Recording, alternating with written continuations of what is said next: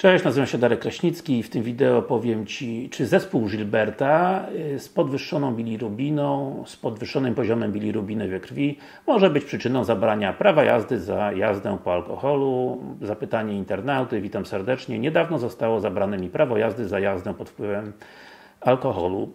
I tutaj moje pytanie. Dostałem skierowanie do Wojewódzkiego Ośrodka Medycyny Pracy, dostałem to skierowanie z Policji. Obawiam się tych badań, ponieważ cierpię na zespół Gilberta, no nietrawiona bilirubina czy coś takiego. Ogólnie badania krwi zawsze wychodzą mi dobrze, tylko ta bilirubina jest podwyższona. Ze względu na to rzadko piję, no pech chciał, że wypiłem i na katu zostałem zatrzymany. Tutaj moje zasadnicze pytanie, czy lekarz WOMP-u może mi stwierdzić wynik negatywny po podwyższonej bilirubinie. No, inne enzymy, aspat, alat w normie, GGPT w normie, wątroba niepowiększona normalnej wielkości. Także jak tutaj żeśmy zwrócili uwagę, w drewnianym kościele osobie niepijącej spada cegła na łeb, czyli łapie go policja na kacu, prawda? No, siła złego na jednego.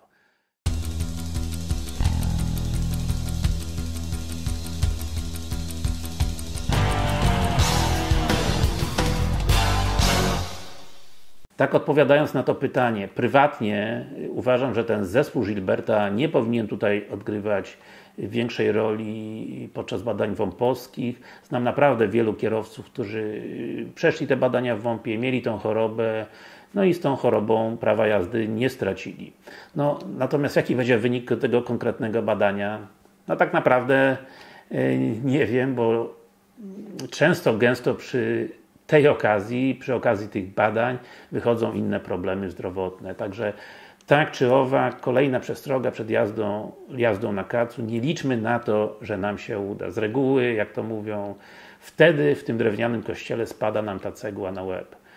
Mówił Darek Kraśnicki z Wrocławia. Jak miałeś podobną sytuację, koniecznie tutaj skomentuj to wideo. Jest tam takie miejsce na komentarze. Jeżeli oczywiście chcesz więcej podobnych informacji, tutaj wejdź na moją witrynę internetową badania lekarskie kierowców.pl lub jakąkolwiek inną. Także jeszcze raz żegnam Was Darek Kraśnicki z Wrocławia.